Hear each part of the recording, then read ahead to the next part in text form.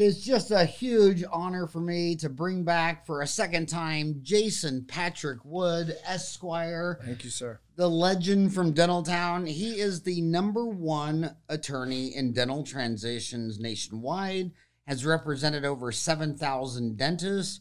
Um, with the law firm Wood and Delgado, has been specializing in representing dentists for over 35 years in such diverse areas as dental practice purchase agreements, dental partnership agreements, dental MSOs, dental space sharing agreements, dental corporations and LLCs, real estate, employment law, dental board defense, estate planning, and other business transactions which a dentist will face during his or her career. He has authored many articles relative to the business side of dentistry, which have appeared in every major public dental publication. His CE podcast pertaining to the business side of dentistry are some of the most viewed dental podcasts in the country. Anybody who does a podcast, if they do Jason, that's usually their most viewed podcast. He is a moderator for Dental Town on all forums related to the business side of dentistry. Has over 7,000 posts on Dental Town, helping and educating doctors throughout the United States. Prior to joining Woods and Delgado, Mr. Woods worked in Washington, D.C. for the Speaker of the House in connection with the President and the U.S. congressional campaigns. Um, thereafter, he worked for the U.S. House of Representatives, drafting legislation for various House committees. His law firm, Wood and Delgado, is in Mission Viejo, California, but he lives in Idaho because he's Irish and he wanted to be close to those potatoes. There you go. And uh, serves clients nationally. Uh, he went to law school at the University of San Diego Law School, um, but left when the Chargers left. Uh, you, uh, so do you know how many potatoes it takes to kill an Irishman? No, None. none. Because They starved to death. there you go. Wow. Ah, that was a brutal Irish joke. oh, Uh, so seriously though, you were in San Diego Law School. Yep. Um, Did San Diego take the Chargers leaving? Did they take that very easily, or? uh, you know they, they can't come back. That's for sure. Uh, oh, really? It's, yeah. it's That- never dated ex lover. exactly. I mean, San San Diegans despise that family now. Really? Well, I mean, San Diego, believe it or not, I mean, it, it is, it, it's one of the biggest cities in the nation, but it feels like a small town. You have so many little enclaves, and it's it's a wonderful feeling. But now, granted, you're in California, so everybody's a fair weather fan. But San Diego prided themselves on the Chargers, secondarily the Padres. But um, you know, when when you feel like you're the redheaded stepchild, you know, for LA, and you go, that's it. We're done. You are done. So Well, I live in Phoenix, and I'm pretty sure that 12 out of every three people in Phoenix wants to live in San Diego. I, I can imagine they that. they just can't afford it. Uh, and you, you go to San Diego, and, I, and sometimes you, you get duped in. You're like, oh, look at that little house, and you can see the ocean. It's for sale, and it's so cute, and it's so charming. And then you walk in and see how much money they want for it. And you're like, are you mil. out of Yeah. your mind? yep, exactly. Um, so, you know, uh, a quarter of my viewers, when they send me an email, howard at dentaltown.com, they're still in dental kindergarten. right. And the other ones, I mean, I almost never get any emails if they're uh, over 30. So if you if you did reach the big three, what would they have to be born in? Uh, 1990? If you were born before 1990, send me an email, howard at dentaltown.com, just so I know uh, one, one guy out there exists. Um, but they're they're just trying to get through dental school. They're trying to do their requirements. They're Right. trying to get through all this stuff like that. Um, I don't even think they've started to um, realize um, their their legal needs in the futures. And and I want to hit them off quickly because I've written many articles about stay in your own lane. It's like Right. when I see the dentist do the damnedest, dumbest things, I'll say, "Well, you, you signed a ten year lease." I said, "Who was your real estate attorney?" Oh, oh, yeah. Yeah. I learned it in all in anatomy physiology now. I mean, Yep. When we were learning about uh, eukaryotes and prokaryotes, they threw in some business law, and so I just I just want to head you guys off the very young. When you graduate from dental school, they should say, "Congratulations, you're a doctor of dental surgery, and you don't know shit about anything else. Stay in your lane." Um, how has the legal? How has the marriage of um, dentistry and law? How how has it really been going? That your three and a half decades in this. Where where's the profession headed? Uh, Oh, dentally, boy. legally.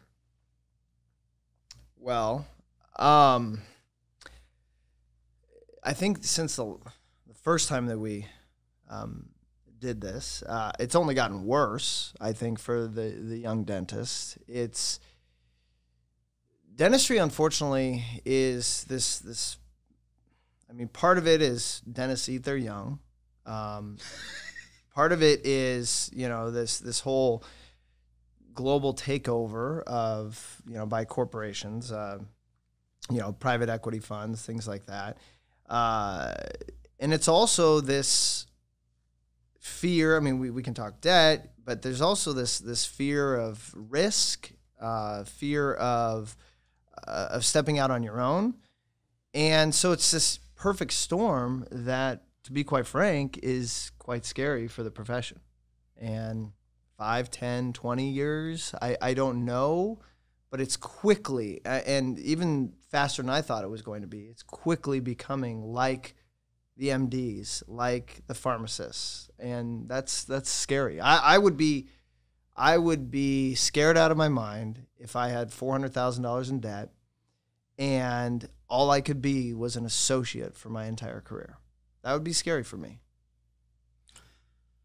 I, I think people always think uh, you know the, the great advantage of being yeah. old is you've seen every rodeo twice i mean i remember from 93 94 to 2000 stocks just kept doubling yep. and everybody thought it'd go on forever but what goes up comes back down um, i've seen the um, you know the, these natural laws are like business cycles right and so um, I've lived through four economic downturns where, you know, 1980, 1987, 2000, Lehman's brother, we're due for another one.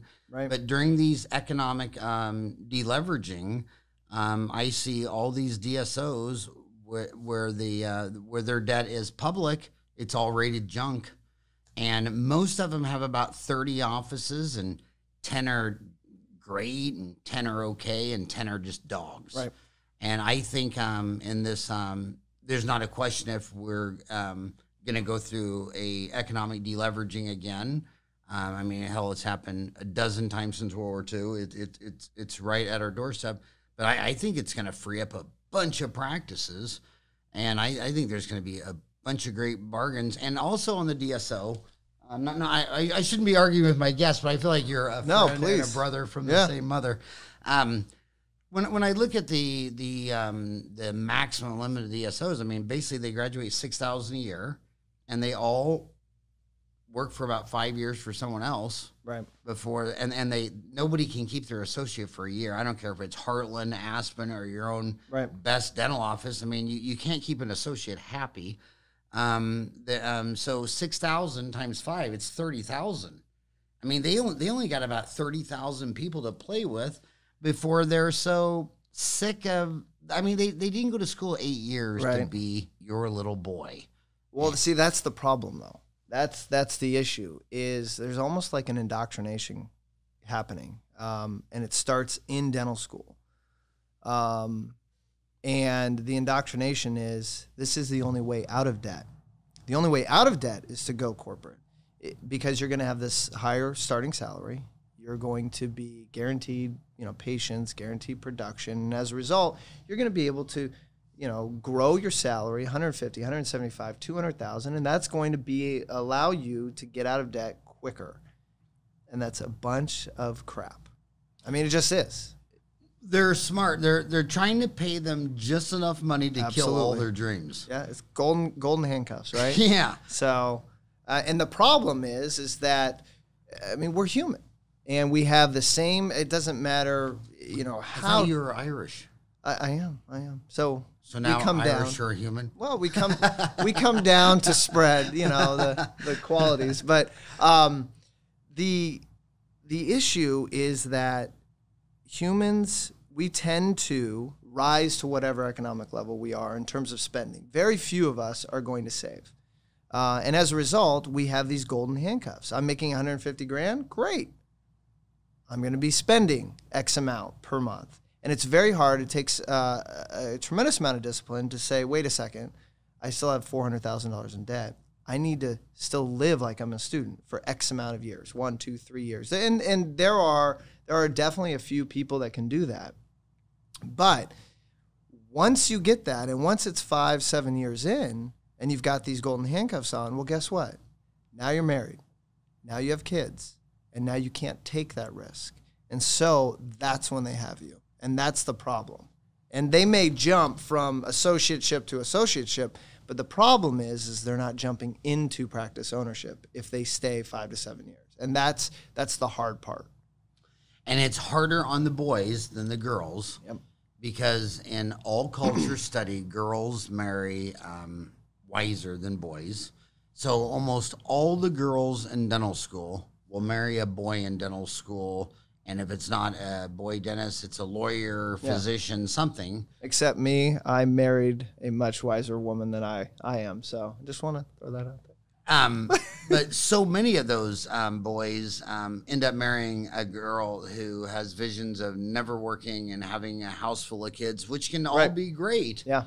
But the girl, but the boys suffer a lot more because the girls almost always marry someone who makes ten thousand dollars a month, Yeah. and the boys, except for the ones who married a girl in their class, just don't do that. They Right. marry the best looking girl at the Waffle House Right. and uh, and that's the most expensive waffle you're ever gonna buy. Breakfast is an important meal, though. and so so um, it, it, it's it is truly a bigger curse um, for the boys. I loved it how you started with Dennis Ether um, Young. So so okay, so you're talking to a bunch of dentists who know every single thing in the world, and they even know dental law more than you. They do. They because do. um, they're dentists, Right. Absolutely. Uh, so I just want to start. I'm just going to throw some trigger words at you, and I want you to um, try to educate them that they don't know everything, like leases. the most overlooked asset a dentist has. Um, less than half of dentists have their leases reviewed by an attorney. I would go so far as to say it's a super majority. Um, and there are, I don't care what the lease is, unless it's a lease from 1975, there are 15 to 20 provisions in that lease which can detrimentally impact the saleability, the transferability of that practice, which can significantly derail your career. Okay, she's a junior in dental school. She Yep. might. What is a lease? Sure. What? A lease. eh, So when you, whenever you have a ownership interest, whether it's a partnership, whether it's a startup, whether it's an acquisition, you are going to have a lease if you don't own the real estate. Um, but even if you own the real estate, you're going to have a lease anyway. But that lease guarantees you and protects the goodwill that you have in that practice because the landlord has a contract with you for a long term lease. And as long as you pay your rent, you have the ability to stay there. And the reason why it's so important for a dentist is because your patients, one, most of the time they're going to be located around that lease, but more importantly, they become accustomed to where that space is. And if you're forced to leave, you're going to have patient attrition. And depending upon how far you have to move, that patient attrition can be substantial. So that's that's what a lease is. It's it's the one asset that protects the goodwill that you're acquiring. And goodwill is the most besides time, goodwill is the most important asset a dentist has. And you say half the dentists don't have a lawyer look at their lease. I, I would be shocked if 30% of them. Because here's the thing. Here's the thing. You've got you've got a lot of brokers who are dependent on that lease getting signed. And they a, a lot of them, not all of them, um, hold themselves out as as most people do, being an expert, and they don't all of them volunteer. You should probably have an attorney look at it. Now they'll say that somewhere in a document, but if I'm telling you face to face, looking you in the eye, saying, "Hey, you brought me on to do the business points. I don't do all the legal points. You really need to get an attorney." That's very different than it being in the fifth paragraph of the contract that you sign with me. So um, there are definitely, and I, I want to be clear, there definitely are brokers out there that encourage the use of attorneys. But you have so many parties. You have equipment reps that are dependent on that startup. You have, you know, you've got contractors, you've got architects, you've got all these people who are dependent on that lease being signed. They do not want an impediment. And who is the impediment? The attorney. because we're going to find things. And if it's substantial enough, for instance, the landlord has the right, if you go to sell your practice in the future, the landlord has the right to terminate your lease. That's kind of a substantial issue that we want to take care of. But in the vast majority of leases that have been written since 2000, almost all of them have that language in there.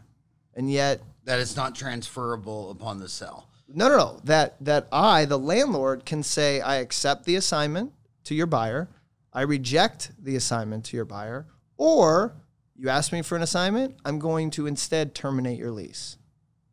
Meaning you're out. Now, do the landlords really want to terminate your lease? No, they don't. But we've seen so many landlords use that as what's called legal extortion. Well, I'm going to terminate your lease, but let's, you know, if you want to give me 50 grand, I'll reconsider. Happens all the time. Now, all the time, still very small percentage, you know, but obviously that can derail a career. And it's this small little one sentence in a 35 page document that's eight point font. And then think about the reverse about this when you go to sell your practice Right. and you own the land and building. When you sell your practice to a dentist, everything he's talking about is why you have such a good tenant because in re- commercial real estate, the biggest variable is do you have a tenant? Right. So when you sell your dental office to when you're 65 and sell to some puppy, and um, after they say uh, they rent, they sign a 10 year lease Yep. while they pay off the dental office. At the end of that 10 years, they don't want to move. I mean, everybody, everything he said that was negative is now good. They, they, everybody's familiar with this location. They all want to go there. So I've seen so many dentists sell their practice and carry the paper. Uh, so now they get a 10%. I mean, you know, what are bonds paying? 2%? They'll get a 10%, you know, they'll carry the paper 10%, 10 years. And then as soon as she's done, now you have a um, captive uh, tenant to now go buy the property again. And then you carry that paper. Now you get another payment for another 10 years. I know dentists that carried their own paper, sold their practice, and then their real estate had a 20 year Yep. retirement payout. And if Um, you really, I mean, uh, what I love is being able to then utilize that to acquire additional assets. Because if you've got a tenant that's going to be there 10, 15, 20 years, it's a bankable tenant, less than a 1% default rate. You're darn right. I'm going to be using that equity to buy and acquire additional assets because time value of money, things like that, it's going to set you into a completely different plateau in terms of economics. And unfortunately, too many dentists don't think that way. Um, we, we need to think globally as it relates to our practice, our real estate, and, and really not just completely have one industry, i.e., dentistry, captivating all of our wealth. We need to spread that out somewhere. So you've done 7,000 dental transitions. Um, does it begin with a purchase agreement? What What is a purchase agreement? So, a purchase agreement is a contract between a buyer and a seller to purchase something. I mean, it's whatever it is. And in this context, it's a dental practice. And I am the seller. I am selling you a dental practice. And the buyer, I'm buying the practice. But what exactly am I buying? I'm buying used equipment. I'm buying patients that I hope are going to come and see me. And that's really it.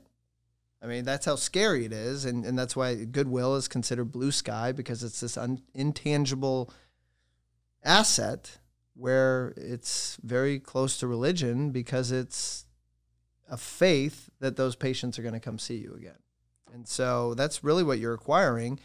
And it may sound scary, but the, the reality is, is people are creatures of habit. And so I'm probably going to give that buyer one shot. And, and physicians don't really sell their practice anymore, do they? If they're specialists, if they've been able to avoid the, I'll call it the hospitalization of the medical industry, um, then yes. And, and they can be very profitable. Plastic surgeons, um, chiropractors, you know, the, the specialists that maybe are a lot of fee for service or PPO based, they still can command good money. But your family practitioners, you know, your OBGYNs, all that, no.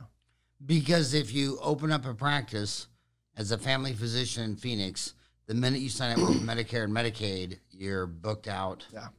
into.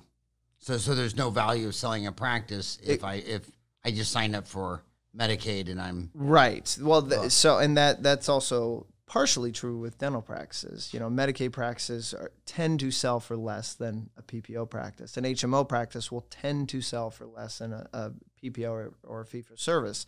Um, the, the difference between the medical industry and the the dental industry is it's not just the the Medicare Medicaid. It's the fact that hospitals have been able to control most of the touch points in the practice of medicine. And with those touch points comes the, for lack of a better term, the siphoning off of the profits into the larger corporations. And so those family practitioners that used to make three, four, five times what they used to make, they're they're making less than what doctors made in 1980. And so um, it, people don't buy those practices. Why would you? You're not really profiting a ton from that. Juxtapose that to dental practices. Dental practices still roughly 40%, if I'm talking a GP, 40% profit, which is exactly why private equity is basically tripping over themselves to get into this field because I can pay, I can satisfy all debts and still have when I've taken into account all of these factors, I'm still much higher than manufacturing. I'm still much higher than you know most of the other industries that I would otherwise be putting my money into. And with low rate environment, it's like a no-brainer.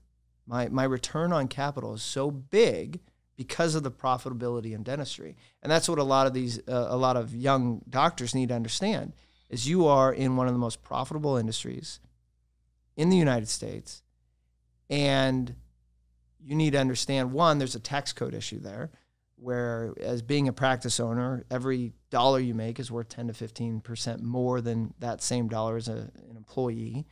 Um, but also, you are receiving these profits. And so when you compare dollar, apples to apples, doctor production as an employee versus doctor production as an owner, you're making about double the income because of the profits associated with owning the practice, the tax code that treats and favors business owners.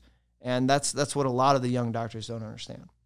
Go over the tax code more. So if you're an employee and you make how is it different as a dentist making a dollar as an employee versus a dentist making a dollar as great, an owner? Great question. So as an employee, you are taxed at the highest taxable rate that you can be taxed at. That's you know, welcome to America. Um, and so if I'm making 150,000, I am making what my, I'm going to be taxed at the highest rate I can at the $150,000 mark. Now, 150,000 most DSOs are paying between 25 and 30% of collections.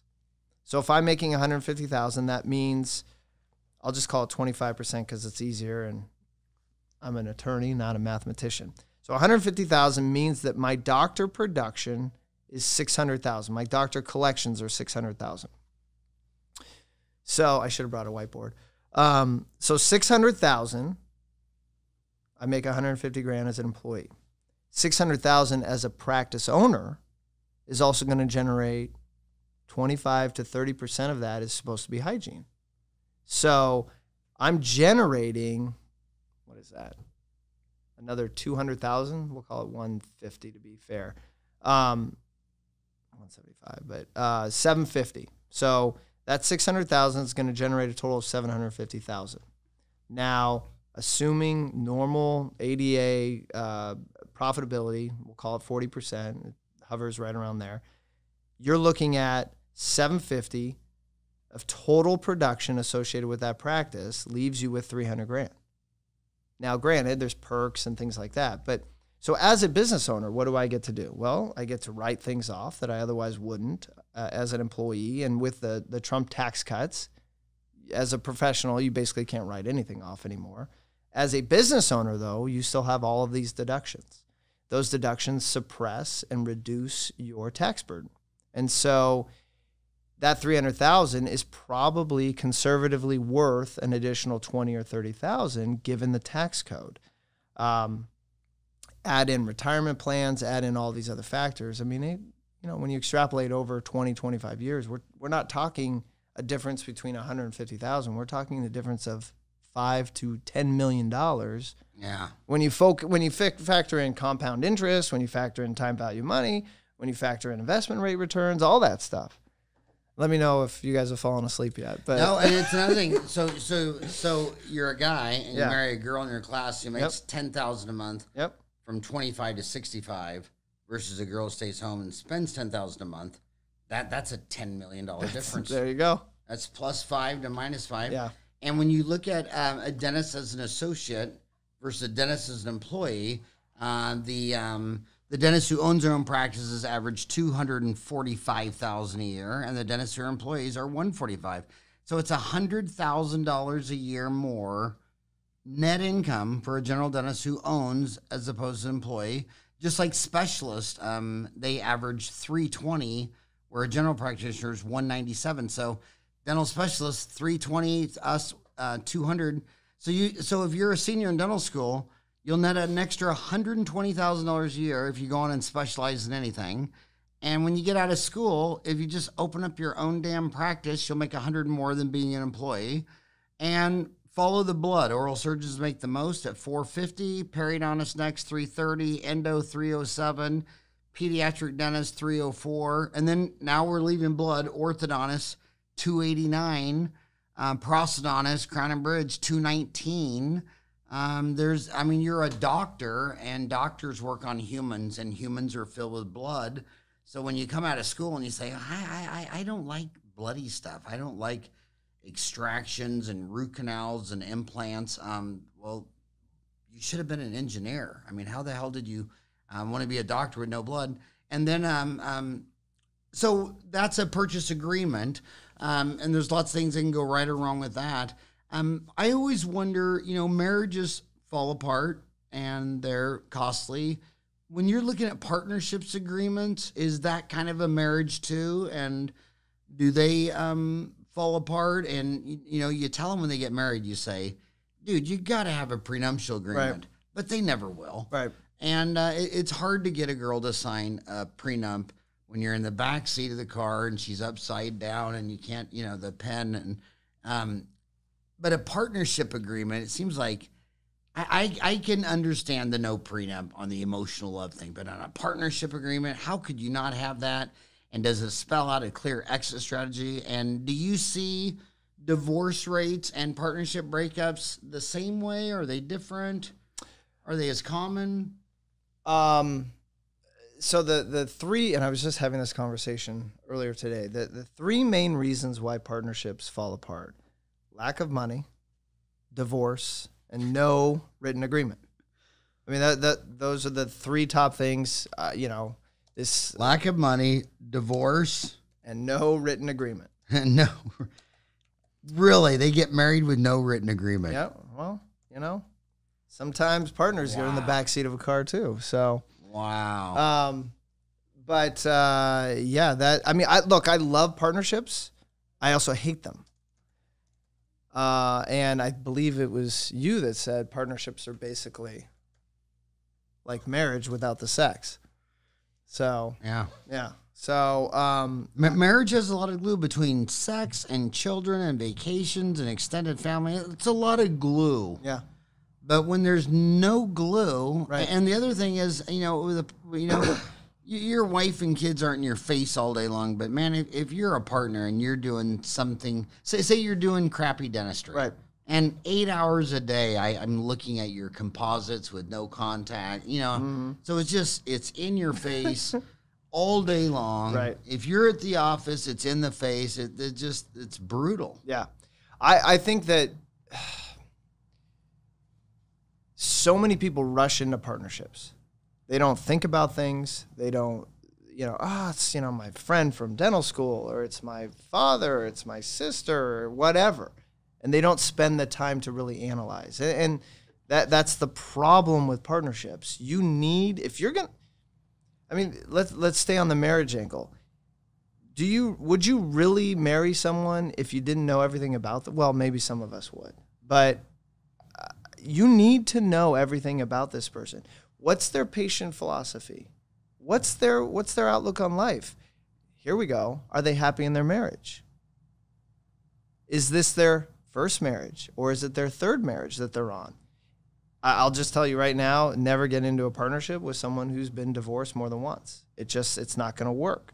Um, now, am I 100% accurate on that? No, but I'm probably like 98.7%. So there's there's just a lot that goes into a partnership, and the problem is is everyone rushes past all of those issues, and they they get literally get into bed with the partner, and then lo and behold, this doesn't work, or they do everything right, they talk about all these things, and then they go and buy a practice that's only doing five or six hundred thousand. Well, now we're in a lack of money. Oh, well, we both have associate jobs. Okay, well, what happens when that associate loses their job? Oh, you didn't talk about that. And now that associate is working at the practice all the time, and now you're upset because they've taken all of your patients. Okay, well, we should have thought about that. So there's just a lot of things that go into it. Um, really quick, my my framework for partnerships um, if you're trying to buy a practice, you should be looking at a practice doing again GP specialists. There's different numbers, but GP practices should be doing about 1.5 million for two people. For two people, a partnership. So 750 each. 750 each, or we're on track to get to 1.5. Maybe if you're 1.3, but hey, we're on track to do 1.5. Then yes, you can buy in to that practice. But if they're only doing seven or eight hundred, that's that's not enough to adequately support two doctors. And so I, I use one 1.5 million because that's 750,000 of production per doctor, which which transfers to about 600,000 of doctor production per doctor. Divide that by 12, you're at 50 grand a month. 50 grand a month is doable for almost every dentist out there. But when I start to I start to reduce that number and we break it down to a million, well now million, we're at $750,000 of doctor production divided by two, that's 375. Divided by 12, that's 31,000 and change. That's not enough to support. And so that's the problem with, so again, lack of money, divorce, you didn't properly, you know, evaluate your partner, you didn't analyze the the non-dental aspects of the partnership. Um, are they happy in their life? Are they happy in their marriage? You know, how are their kids? I mean, is is all of that comes into the partnership, whether you like it or not. Uh, and then, last but not least, yeah, we didn't really feel like we needed to do a written agreement because we talk, you know, we just understand each other. Well, good luck, because I guarantee you there's going to be things that fall apart because of miscommunication. So, so, what type of person have you noticed that really loves partnerships the most and they work? What, what what's going on? My most successful clients are female female partnerships. Females get shared sacrifice, shared reward. I mean, I might have even said this last time. They live with us, so they, they totally understand sacrifice. Um, by living with men. By, by living with men. so, um, but when I and when I talk about um, when I talk about success, I'm talking about not money. I'm talking about quality of life, everything. Um, it allows them to have lives outside of dentistry. One of the biggest things that solo practitioners say is, I, I can never just leave. I can never just go. I'm, I'm, I'm chained to this practice. And, and that's understandable. I, I totally get where that's coming from uh, partnerships allow for that freedom. And it also allows, and this is why I love female female partnerships because if you if you look at the ADA, I think it's called um, an industry in transition. Female dentists, who now are a, a majority of dentists, are one half one half or 50% as likely as their male counterparts to acquire a practice. And so there's a huge divide between females They're and males. One half is likely. One half, yes. To buy I think it's I think it's 63% um, males will acquire 38% of females. I could be off on my on my percentages. Um, it's it's a little bit old now, but it's um, I, I believe it's called an industry in transition. And this and one of the biggest issues that that females are uh, face, or to be quite frank, are indoctrinated with uh, in dental school is you can't be a mom and be a practice owner, and that I can't tell you how much that frustrates me and angers me uh, because there is no better profession to be a mom and to be an owner than dentistry. Um, and so my female female partnerships, what you know, one of them will take their kids to school, and the other one will pick their kids up, meaning that we've got a slightly shifted schedule so that our personal lives are being handled. So one's going in to work a little bit earlier, one's going into work a little bit later. And they love it. And I, I think it's great. I think it, it it's a great work life balance. Um, so I, I just, it's one of my pet peeves that we, we have to do something to decrease that differential between males and females. It, it has to it has to become more on par. Yeah, um, I am um, man. I I I if I was going to be a super mom, I would rather just I I don't want when Megan has a play tomorrow at school. I don't want right. to come into work and ask the office manager if I can get tomorrow off. Right. Uh, I I think um, the most super moms I see that are women dentists they own their own practice, and if they want to go to Muffy's play tomorrow, they they just go. And if they wake up and two kids are sick and puking, they yep. just they they call in sick. Um, Absolutely. Um, so um, shareholder agreements. What are those? Shareholder agreements are okay. So I am not a fan of single entity partnerships. That is the cheap way of doing things. It's the lazy way of doing things. Um, and you're it, not a fan of what? what we're talking about right now. So, a shareholder agreement is when two partners are entering into a single entity partnership. So, that's where the shareholder agreement comes in. Um, and so, it's two individuals that are, let's call it 50 50 partners in a single entity. That is a, cheaper way of doing a partnership. Partnerships, in my opinion, should be multi entity. So each doctor should have their own entity. And then depending upon what state you're in, you're in, you're either doing a general partnership agreement or you have a parent company that sits on top. The reason for that again, taxes, protection of liability. When you have a single entity, is it is it slightly cheaper to set up? Absolutely. Um, but you run into problems with taxes because now you have to agree on taxes every year. If you want to be aggressive, and write everything off Costco, Hawaii, you know, well, whatever. Um, and I don't, we're going to fight about it. And it happens all the time. And so it becomes issues as it relates to how we deal with um, salaries versus dividends and, and all these other aspects, which can fray and cause a partnership to kind of start to crumble a little bit. And over time, that tends to build up. There's also there's also more liability associated with a single entity shareholder agreement because now we're part of the same entity. So things that you do impact me. So things like things like uh, sexual harassment, things like uh, wrongful termination. If one partner did that by themselves, and I have my own entity and this person, he or she, have their own entity, I can have liability protection there. Um, versus being a part of the same entity. Now everything's up for grabs. Now, are we still protected from all of our other uh, personal aspects? Yes. But this whole entity now that I'm a part of is now in play because of the liability associated with what that other partner did. So it's, we do them. I don't love them but um, that is basically a, a, shareholder agreement is when you're doing a partnership. This is probably the most common question that you get tired of asking. Um, Dennis always want to know: Should I be a corporation? You should have an entity. Um, now, obviously, as an employee, you can't. Um, but as uh, as a practice owner, absolutely. There's there's protection. There's liability protection. Again, and um, there's great CPAs out there that you might want to talk to, but um, you have.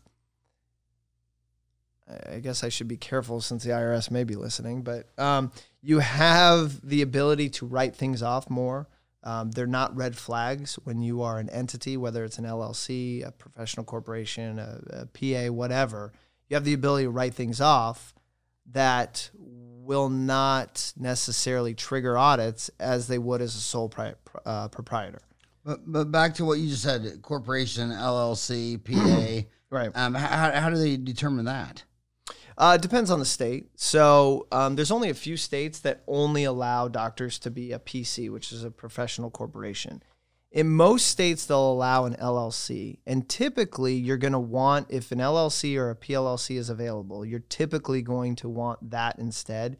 It provides a slight bit more of uh, the ability to play around with taxes based upon certain thresholds.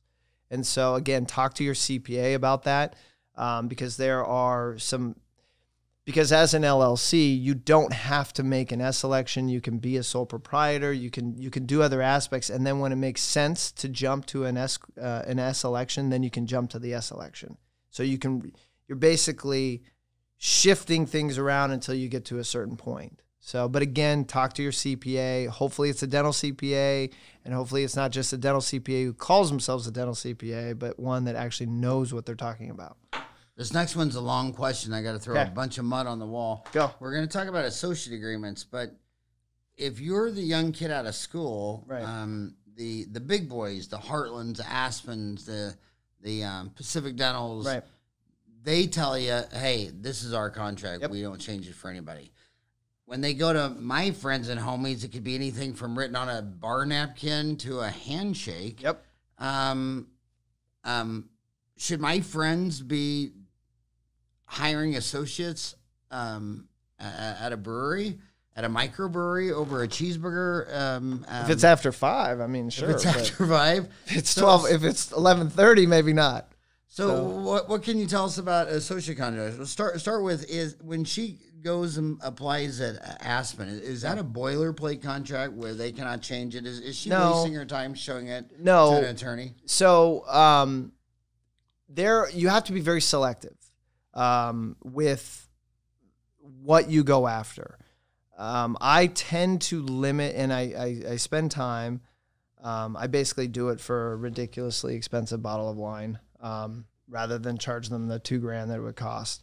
Um, but basically, you have to be selective at how you approach. So some of the things that we talk about are um, what do you want to do after this? What do you want to do? Do you want to stay in the area? Is this just a job? Like, tell me about what your short and long term plans are because what you tell me is going to dictate how I approach the, the restrictive covenants that they're going to be pushing.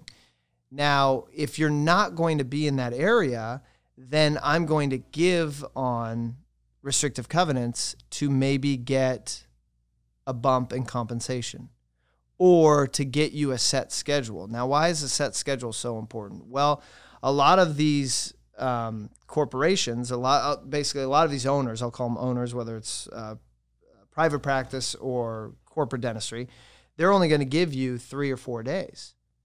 Now, if I can establish a schedule from Monday through Thursday rather than you being at the beck and whim of, of whoever your employer is, I've now established a schedule so that you can go to another owner and say, hey, I've got Friday and Saturday available. So now you're, again, if we're trying to get out of debt, now I have the ability to work five or six days rather than what they're offering me. But if I don't protect myself when I'm agreeing to the contract, they can put me on Mondays and Saturdays and Fridays, and now I'm I'm not a marketable asset. So, um, so we tend to focus on establishing a schedule, restrictive covenants, compensation, and by the way, I don't care if it's private practice or if it's corporate practice. You need to know what that practice is producing. Because if you are not ridiculously busy, your hand speed isn't going to increase. If your hand speed doesn't increase, guess what? You make less money. If you make less money, you can't qualify for higher loans, which means you can't go after those bigger practices, which have more cash flow. More cash flow allows you to satisfy debt over a quicker period of time, which means that you can then get out of debt quicker. So it really matters about that first associateship. And I don't mind going into corporate. I, trust me, they are going to use and abuse you. You might as well use and abuse them back. So go to every single CE that they have about case acceptance, about patient doctor interactions, about uh, you know mannerisms and and how to sell and do it all because I want you to learn as much as possible. I want that hand speed to be as fast as possible so that we are ready after a year or two to go and own our own practice. And So- what and what what I can't believe is just how bottom feeding your attitude is. Like you'll go work for like say Heartland has the the, the largest. You know they they almost have a thousand locations. Right. And um and I'll say, well, gosh, you know they they ran a thousand locations. And what what, what how did how do they do it? What, what was their accounting software? Right. Don't know. Um, you know, I mean, you ask them like, well, what's what's the code for a, a, a filling? They, they, they don't know any business. And then the geniuses, you know what the geniuses do? They go work at these uh, some um, DSO with, like say, I, I I I can't I don't like referring to DSOs Heartland, Aspen, and Right. Pacific because the lion's share of DSOs are usually like four or five offices. Would, would we have a ton. I mean, I remember I'm in both worlds, right? So I, I we have DSOs that are clients, um, and uh, you know, I obviously I took a we took a big hit because I've been a very strong proponent of ownership, private uh, practice ownership, and we we took a pretty big hit um, when I came out all over Dentaltown and, and other places that hey, look, you have to do this. Um, but you have to do. you have to that. you have to own like if you don't Yeah. in in this generation if this generation doesn't it's always it's always like millennial bashing and things like that but it's not i mean you have to take the risk because if you don't take the risk you you're going to be in debt you are not going to get Did you get a lot of pushback from that stance? oh heck yeah we Yeah. lost a lot of a lot of money And so but obviously i gained i but, but, gained but things talk too. about that. What what what exact was it? A, um, was it a post on Dentaltown or was it a? what, Well, what, what it's triggered it yeah. I mean, basically, uh, it was a call to action um, to.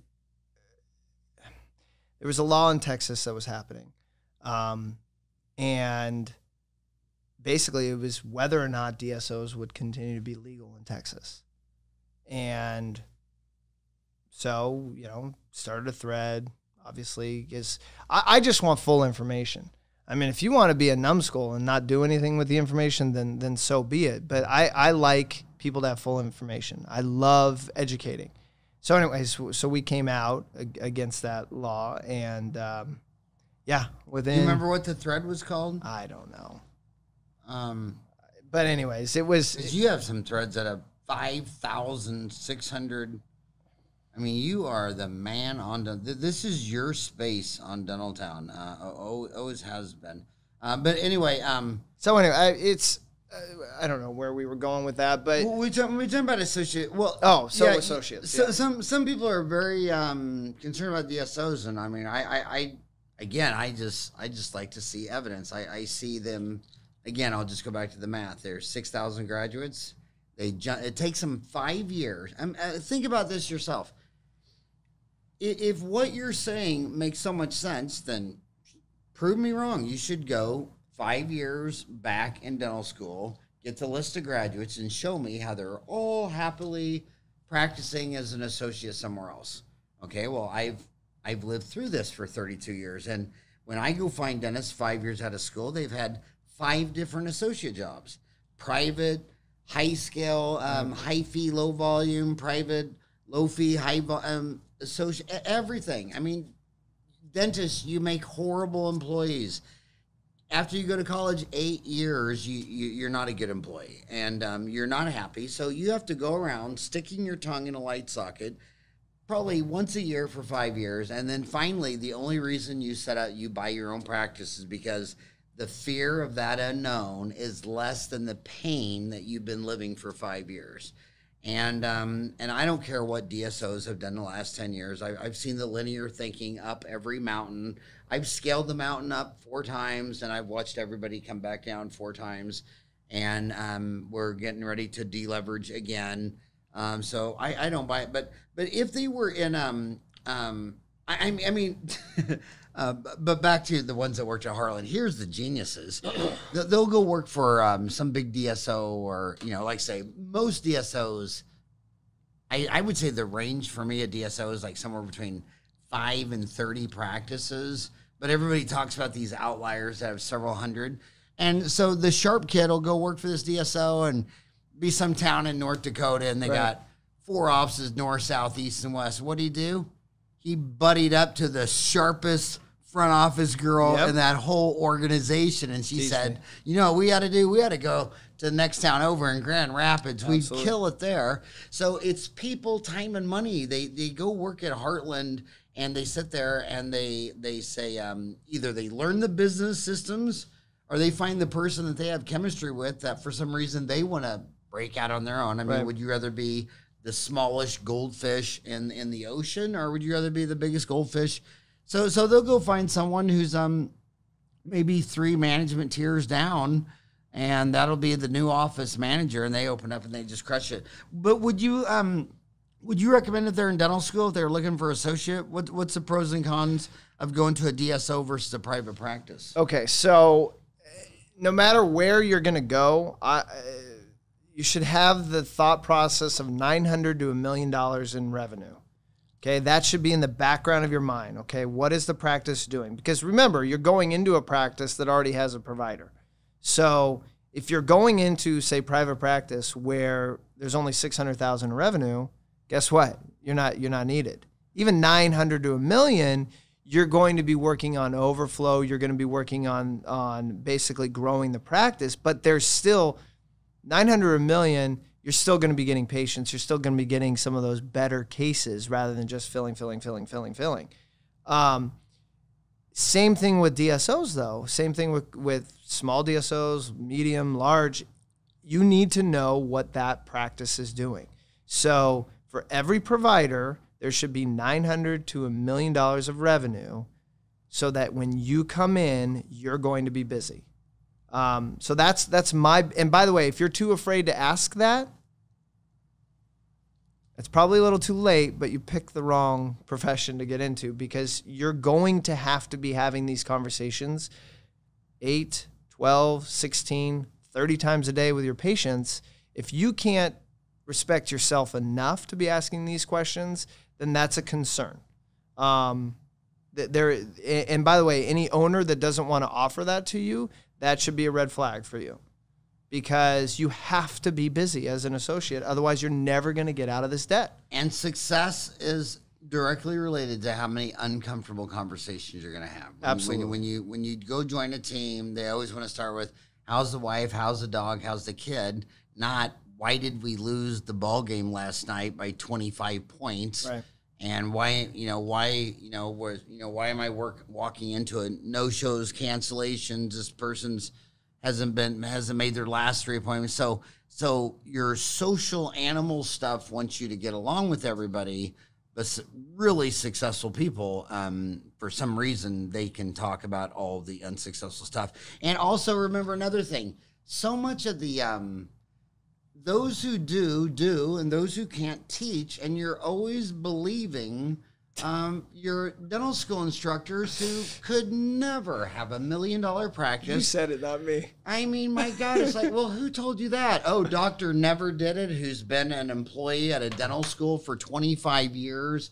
I, I mean, my God, um, the only saving grace of dental school are like my friends who crush it Monday through Thursday. Yeah but out of boredom and fun, they love to teach Friday yep. for like 200 bucks a day, yep. which they could go to their office and do that from like 8 to 8:30. Right. But they love to teach. Yep. They love the kids. They don't listen to the politics. I mean, maybe that one guy who comes in one day a week, talk to that guy. But career-long dental school instructors and you're quoting them like the Bible. I mean, you, if you want to quote them, that should be on your not ever do list. Well, all my instructors said be sure to do this, and this would happen. So now you know that's exactly never going to happen. Yeah. So they they're going to bracket. Um, it just blows my mind. Um, so don't listen to your professors about things they've never done. Uh, if your professor teaches endo and he's done ten thousand root canals, yeah, that, that that's totally different than um, his views on private practice and marketing and DSOs and all that kind of stuff. Um, this is dentistry uncensored, so I'm going to talk about some really um, crazy stuff. Um, have you noticed anything dentist advantage of say young versus old, men versus women, or can ethnicity affect uh, a business, a dental office transaction? Yes, absolutely. So- Absolutely. oh yeah, absolutely. And and it's funny because I, I obviously I deal with this all the time, but it's amazing the amount. We- As a society, we've been indoctrinated that we're all equal. This is gonna be good. Oh, it's gonna be good. You got all the people hitting Kyle, off can right give me now. Some popcorn. I'm Yeah. re- I'm ready to, to hear this. Yeah, one. we, we've been indoctrinated that we're all equal, okay, and that we, and, and by the way, if you're all equal, you're not exceptional in anything either, and so we're we're preconditioned not to talk about things that are that are taboo, um, to not talk about the fact that I'm a I'm a first generation Korean doctor, and I'm looking at a first generation Japanese doctor's practice, and I go in there and the staff speaks Japanese, um, but I really like the cash flow. I mean, it's a great practice. It's doing like 1.2 million, and everybody's told me I should buy this. Okay, and by the way, this is this is something that has happened. I mean, I, I can Right. I'll, we'll extrapolate after, but so the doctor was taken aback when I said, Do you speak Japanese? Well, no. Why does that matter? okay. So you're first generation Korean. You want to buy a first generation Japanese practice where the patient base is first generation generation Japanese. They speak Japanese. Do you, by any chance, know any history regarding the, the Japanese and the Korean people? Yeah, you guys have hated each other for a long time. Now, that is different than second or third generation, same Korean Japanese, where English is spoken or, th- or we have a multi ethnic practice. Then ethnicity is not an issue. By the way, it's not just ethnicity. It, it can be it can be religion. If you are a non LDS person who's trying to buy an LDS person's practice, that is a big issue. Yeah, like in a small town in Idaho. Absolutely, a small town in Idaho. You, I mean, Ah. you just you follow the Mormon road, and it should be a question. Especially, uh, this is kind of a joke, but especially if the last name is Smith. So, um, As in Joseph Smith. so, um, but it's it's just it, it's these questions that you have to know because, again, I I hate to break it to you, but humans are prejudicial. Whether or not you're doctrinated or not, you are prejudicial. The closer you are to whatever it is.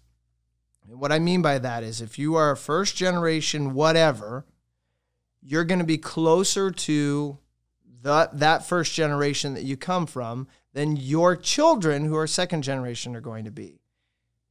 And if you are in if you are a small or smaller re- a religion where it is not the dominant religion, then you're going to be gravitating towards the same like-minded people in a smaller town, smaller area, or even in a large metropolitan area. And so to not ask those questions, I, I think is malpractice.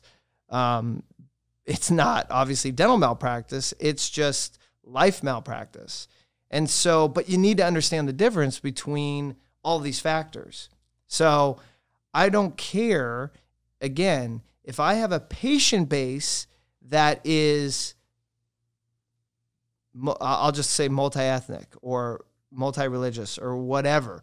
If, if the doctor themselves have not cultivated that type of environment, it's not an issue. So you really, rather than analyzing the doctor's ethnicity or sometimes doctor's sexuality, which is an issue as well sometimes, you have to analyze the patient base. And so, and, and that's what so few people do.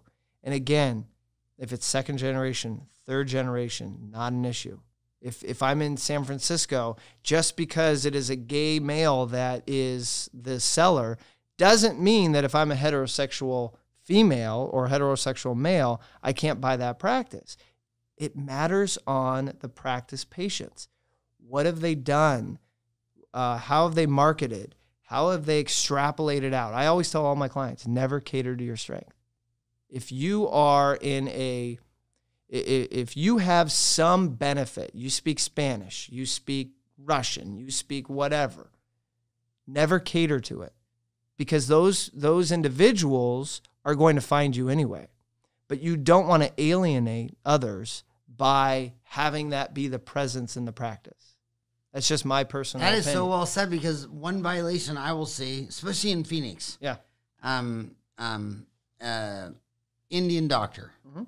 Has a practice, and before you know it, every single employee is Indian. Yep. So is the decor, the music, uh, the whole thing, and and so then it starts to become foreign in their own zip code. Yep. And you said don't cater that. Look, if you're an Indian dentist and you speak Hindi, all the Indian friends are going to know it. Yep. But always make sure uh, the people answering your phone are a reflection of your economy. And, Absolutely. and I always could get the low hanging fruit because um, when I opened up in Ahwatukee, I mean, it looked like it was downtown England. Right. And I it was across street from the um, um, um, Guadalupe Indian Reservation. Interesting. And so, I mean, I always had at least a quarter of my staff could speak Spanish as a primary language. Um, I'm right next to South Phoenix, which is the most African American community. I've always had the most African Americans in my answering my phone. Um, no one else seems to have looked at a map Right. of the demographics of my area. And that and, and, And- when I say don't cater to your strength, that that's exactly what I'm talking about. You're you've analyzed where you're at and you have you have just like America, we're supposed to be the great melting pot, right? So your practice is a melting pot of your area. It isn't all white. It isn't all Spanish. It isn't all, you know, whatever. But it is in the dental op- most all the dental offices across the street from mine. You would th- you would think you were in yeah right. you know some small town in northern London. Pass the tea, please. Yeah, Yeah. yeah. So that that is so neat. I've never heard anyone say. Um, would you call it? Don't cater to your strengths Yeah. because the the your strengths are obviously going to find out Right. um, your strengths, but cater to um, reality. Um, it's so important. Um, when should they hire a CPA, a dental consultant, a broker, and, and then and then how do I mean? How do they know if, if they're any good? I mean, do you go to Google reviews? Is it Yelp reviews? How how do you find a dental CPA, a dental consultant, a dental broker, um, and, and and know that they're good as opposed to they market well or they were endorsed by my local dental society, which which Is how, paying, how right? how which is pay, which is money, Yeah. right? I mean, how do you get the ADA endorsement for your toothpaste? You spend 1.5 million? Yeah, Yeah. I mean, I remember, I remember, um, my very good friend who owned Denmat, Bob Ibsen. um, he used to um, tell me great stories about how um, to get any of his Denmat products ADA approved, it was just a, it was like a mafia shakedown Yep. for money, and they had to decide, um, do dentists even care? Uh, how much is this shakedown? But he said, it, but it was zero merit based Right. um, decision. Yep. It was money the answer. What's the question? So so how does my young homie, she's a senior in dental school and she needs a dental CPA, she needs a dentist broker, she needs a dental consultant. Uh, so I'm probably gonna get killed from most of this, but that's fine. It's uncensored. So um, I don't think that you need a dental CPA when you're an associate. I think you can get away with QuickBooks. I think you can get away with you know what whatever software program you want. Uh, I do believe that you need a dental CPA um, when you are looking at any type of ownership. uh, whether that's startup, partnerships, acquisitions. When you're moving into that phase, I think you need to get a dental CPA. Uh, to be quite frank, I think you need, and this just uh, this applies to all your advisors. This is a small industry, and there are many advisors that are beholden to people that they are being referred by. And as a result, oftentimes you don't get impartial advice. Um, for better or for worse, I tend to put my feet in my mouth quite often. And I have a lot of people mad at me all the time um, because it, uh, I, believe that it is our job, whether it's an attorney, a CPA, a consultant, whatever, to provide our clients with full knowledge and then allow them to make the decision. Um, that doesn't always happen in this industry because people pull their punches because they're worried about the next referral. So you really, and the problem is, is you're really, as a dentist, you're really not going to know until it's too late if you've got a good advisor or not. Uh, that's the reality of the situation. Um, there are 50 people, 60 people in, in the United States that know 80 to 85% of what our firm does. Most of the time, you're probably going to be fine. But if you need that 15 to 20%, there's probably only 10 to maybe 15 attorneys in the entire United States that have done this enough, that understand it enough, the nuances and how to do this and how to do that. Um, and that's the problem. I'm gonna, I'm gonna get you in trouble because I'm gonna Please. ask about one of your competitors. One of your competitors likes to says, you know, when Jason's representing selling the practice and you got a lawyer buying the practice, th- they're just gonna go to war. We dual represent. We're gonna represent both of you, and we're gonna get this deal done. Uh, if it's and an, that name is Alan F. Thornburg, um, AFTCO, um, Well, dual representation. well, I think uh, I, I, I don't get Christmas presents from the Thornburgs. So, um, He's so adorable. He when his first son was a daughter, Right. Alan named her Alana. God, I love that guy. But uh, but do you love the dual representation? I, it's an impossibility. I mean, it's by the way, it's an impossibility today. It's been an impossibility since biblical times when Solomon, you know, came forth and said, "Hey, you can't serve two masters." So, the the, the reality is, is if I'm representing both sides, my advice is going to harm one side or the other. It's just it is. If I say the covenant should be three years, and I put that in my contract, that is making a statement, whether I like it or not. Now, if I come back with an allocation that is 85% goodwill, that is making a statement one way or the other. That is benefiting the seller more than it's benefiting the buyer. There are, I'll just use, I'll say dual agent brokers rather than a specific company those contracts are usually some of the worst for buyers uh, in terms of representation protection. so they're biased Of, towards the seller. yes. Well, again, like you said before with the ADA, follow the money. Who's paying the vast majority of the commission? The seller.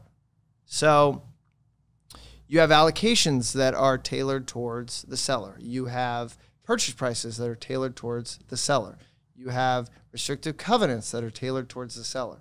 So though, and, and understand, I, I I work on AFTCO deals, and to be you know to be fair to AFTCO, uh, you know there's uh, I I know what to expect, and I know uh, you know I know what I can ask for, and to a large part I will get, as opposed to other dual agent brokers who are worse, much worse. Um, I still don't like dual agent brokers because it's it's an issue for me, just like it would be an issue for me as an attorney to be representing both sides, uh, or a CPA to be representing the seller and the buyer. it's just it, it shouldn't be done. Um, there's a lot of um, people that believe, and not just consultants who make a living off of consulting, that if you were going to buy, let's say the average, is it fair to say the, would you say the average practice sold is 750 or would you say it's now a million? It really, I- think it really depends on the locality and the state. Um, for me, I think those practices that are producing less than 500 are very, very hard to sell given debt thresholds and things like that. So I think 750 is a good number. Yeah. And I, I'm sorry, the, the term I hate to use the most is the United States of America because, I mean, you would never do that with Europe. You would never mm-hmm. compare Germany to Greece, Denmark to Portugal. Right. How do you compare Anchorage, Alaska to Manhattan or Houston to Wichita, Kansas? Even the Federal Reserve says that this is nine economies Yes. flying under one flag. So Yep. it's a it's a gross. It's, it's, it's you might as well just say Earthling. By the way, buy Um, the package in Anchorage versus the practice in Manhattan, just so you know. um, so a lot of people are saying, well, if you're going to buy a practice for 750, Right.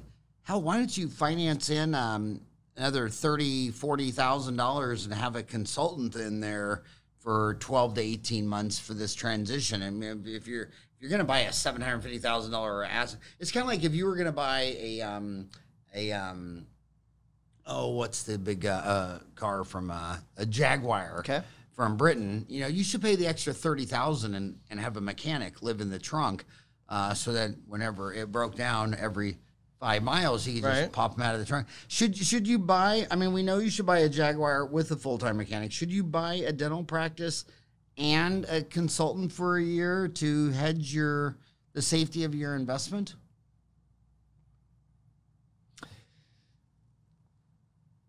If Or you or do believe, even see that? Oh yeah, I see it. Okay. Um, I am a proponent of consultants when the, the buyer needs it, when they need systems in place, when they need understanding of politics of the office, systems of the office, how things work in terms of employees, and uh, and there's a lot of great consultants out there. Um, a lot of them on Dental Town, uh, I admire tremendously.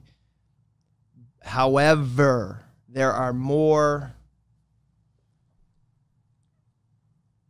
consultants that I have concerns with than ones that I think really provide a return on investment. Um, and some of these consultants are costing forty to fifty thousand dollars, and I, I find it ridiculous. Um, and we're now we're now getting banks to basically force some some banks will force these consultants onto buyers, and it's just it, it in my mind it's atrocious.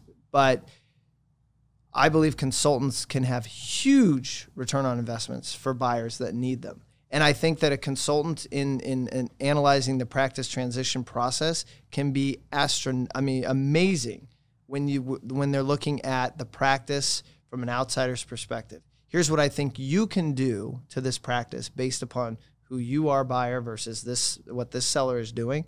Awesome, love it, love those programs. Not all not all uh, consultants will do that though, but I love that. Um, and yes, I definitely think consultants are worth it. But do I think everyone needs a consultant? No, I don't. Well, den- dentists are smart people. I mean, they. I mean, when you know the difference between a eukaryote, a prokaryote, uh, Right. trigonometry and geometry, you can you can figure this stuff out. You can figure it out on Dental Town. Well, yeah, and and that is so. Oh, eh, Dental Town, I I think, has been one of the greatest things to protecting. So, a a lot of people could get away with a lot before Dental Town, in, in my opinion. Um, there was misinformation everywhere. There was no way of connecting dots. There was no way of being able to monitor and analyze and and really just figure out who was saying what. And so you had a lot of these, I'll just say bad actors that were out there that were extremely successful through misinformation and everything else. And Dental Town has brought that I, I mean, I love it because it really creates more of a, a par playing field of no, these people really help me. And and on Facebook, if you say something that that nefarious person doesn't like, you're just You're- deleted you're gone. from the group. Yeah. But you, you you can't do that on Dental Town. No. You know, Dental Town is a it's a um, place where you might have to hear something you. Can't I have I have people like. who don't like me, and I'm a moderator, and I I can't one I can't delete it, but two, one of the beauties of Dental Town is that it's there's there's no there's suppression from there's definitely suppression. If you're going to come on to dental town and just try to be a, a troll or something else yes there's suppression. But there's not a suppression of ideas. And that's that's what i really love about it. And if you um and when everybody agrees with you, you're, You're in a the wrong- cemetery. that or you're in the wrong room one Yeah, of the you're, 2 You're, you're dead. You're, Yeah. you're, um, so um, here's okay. So I don't even know why we're discussing this because I don't see a lot of the advice taken. But there's two dental schools right here in Okay. our town. Here, there's one in Gilbert. There's one in uh, Mesa. And they come out of school and they got four hundred thousand dollars in debt. And I say, look, your dad's a dentist, and you got married and had a little grandbaby. Trust me, they want you to live in their house for free. Right. So you can start saving up, paying down. No, no, no, no. Not only that, i'm going to go get a they mercedes they go buy a house and they haven't bought a practice yet, hate it and they say, um, "Oh, that won't matter that I have four hundred thousand dollars student loans and I bought a four hundred thousand dollars student loans when I go to buy a practice because." The practice, if it's a great practice, it'll it'll be its own equity for its Right. own loan. So, is it okay if I go buy a house before No. I go buy a practice? So I'm going to tell you no, and I'm very I feel very strongly about that because it is much easier to find a practice and then buy the house than it is to buy the house and then find a practice in the immediate area. Oh yeah. And so and and that's the issue because now all of a sudden great, the house becomes a ball and chain.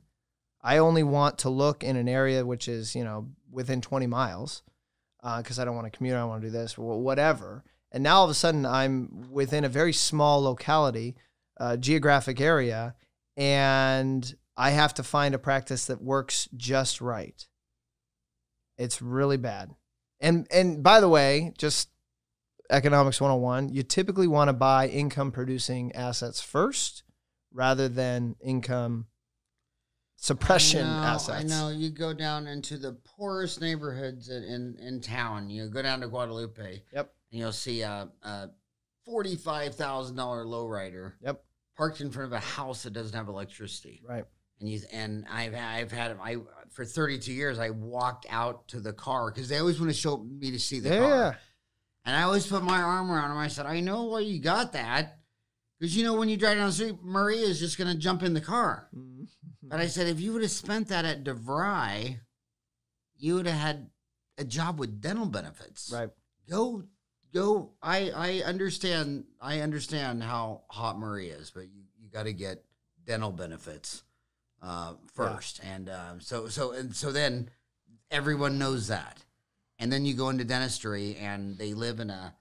4,000 square foot home they own, but they rent a shitty thousand square foot office for 10 20 years and now they're, they're eh, i mean it's like why why do you why is your house consumption three times bigger than your office Right.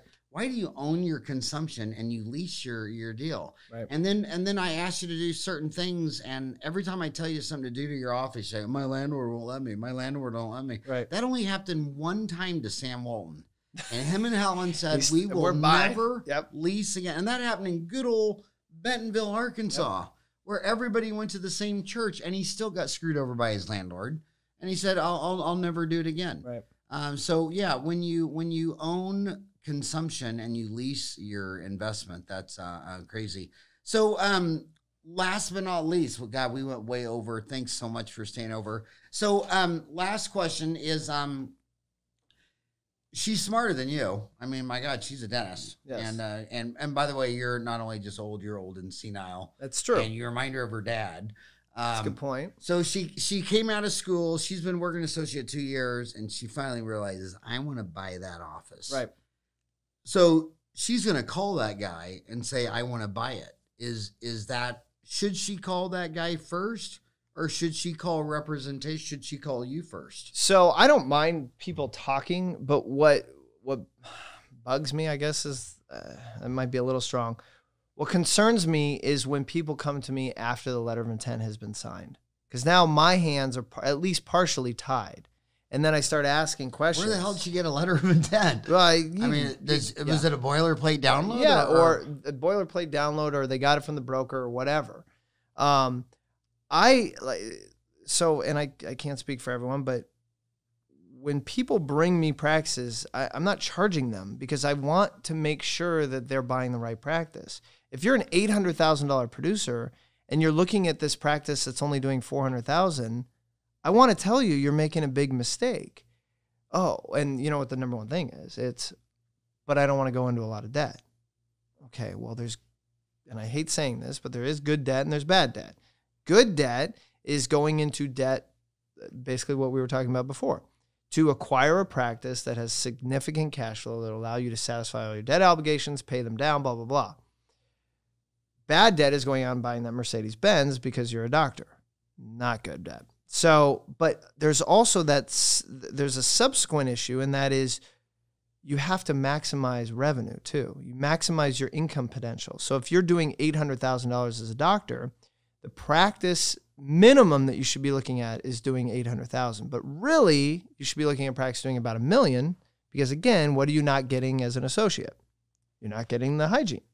And so that's what you have to start doing. And please understand that going into debt for a practice that has cash flow is is good for you, not bad for you. Buying a practice because it's cheap is a really bad economic decision what I what I tell my the, the, the most successful buyers are ones that find a practice where they do at least 95% of the procedures that have hygiene. I like, I mean, at least 25%, but I like it to be more than 30% of uh, revenues, where they will also be able to add procedures just based upon who they are. So the, the existing doctors referring out endo and oral surgery because they just don't like to do it. I, the buyer, I like doing endo and I like do- doing oral surgery and I want to be adding Invisalign or maybe implants in the future.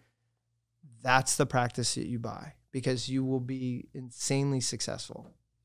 So Warren Buffett's always said the industry never he'll never go into an industry if under two conditions if someone else sets the fee or if it's capital intensive.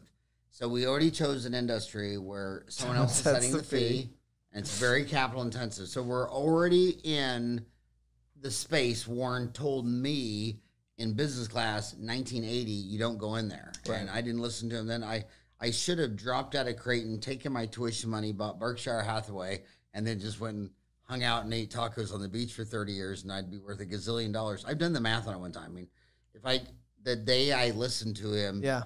um i just that one semester of uh creighton how much? Uh, uh, it was it was tens of millions of dollars.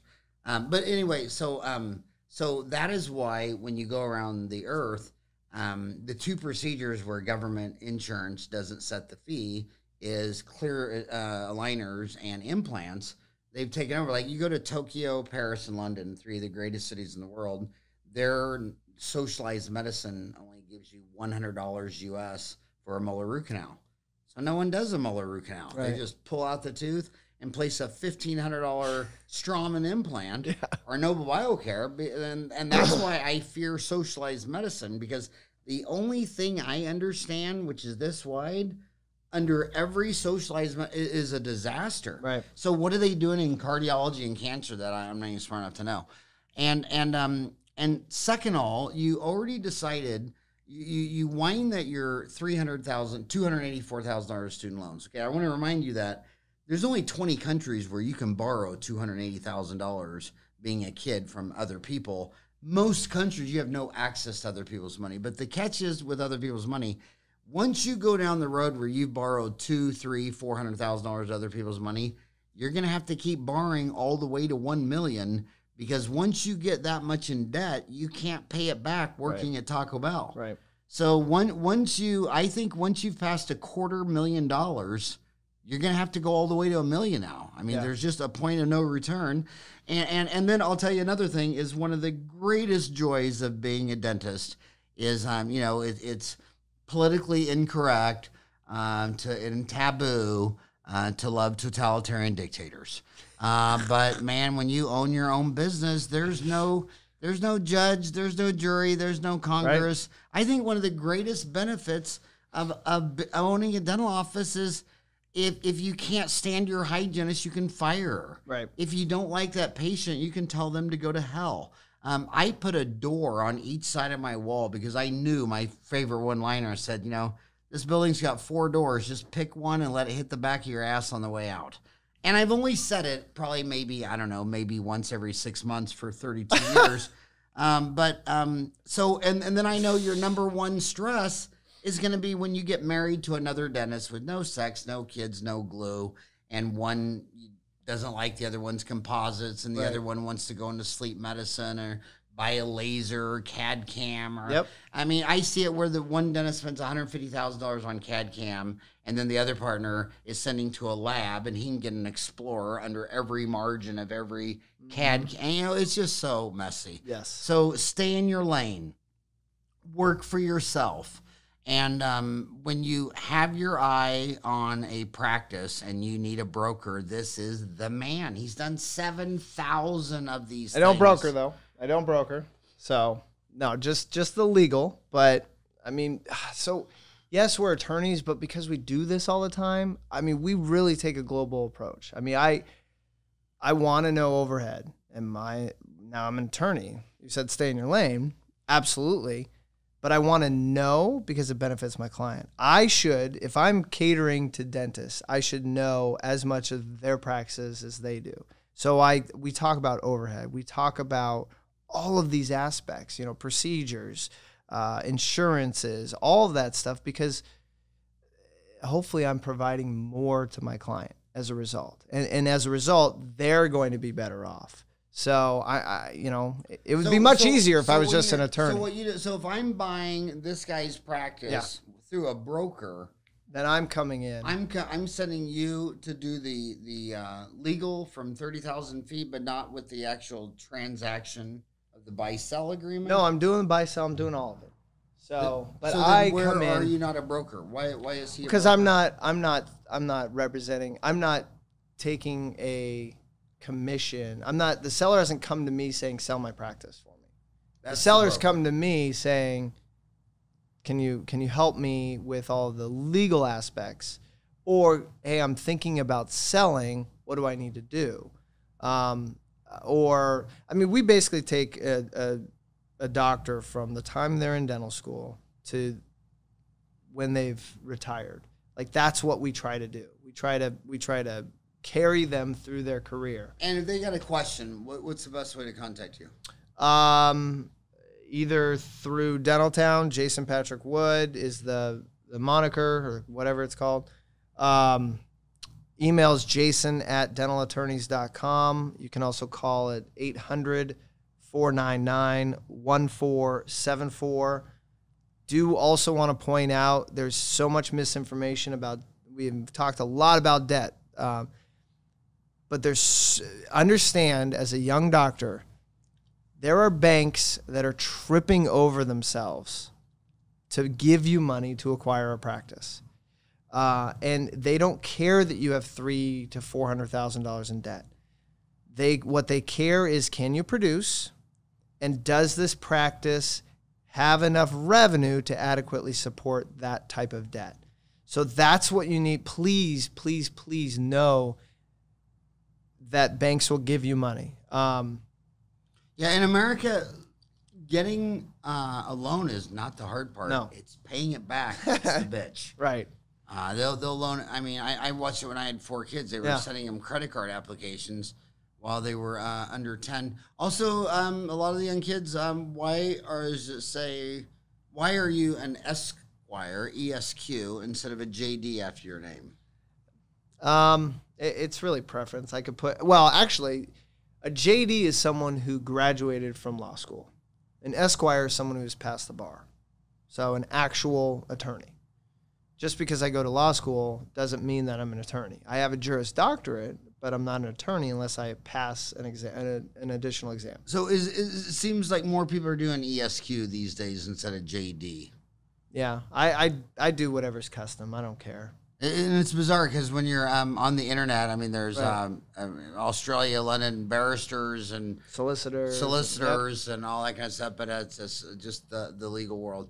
Uh, I prefer Jason- Doctor Esquire actually. I'm just- Dr. I'm Esquire? just kidding. Just kidding. I actually prefer escorts, but that's a whole nother whole nother subject. Um, so, um, but seriously, thank you so much for all. You're that you've welcome. done for I, I've had a great time. You're uh, you're just the legend, the man. Thank you oh, so whatever. much Thank you. Appreciate it, man. All right.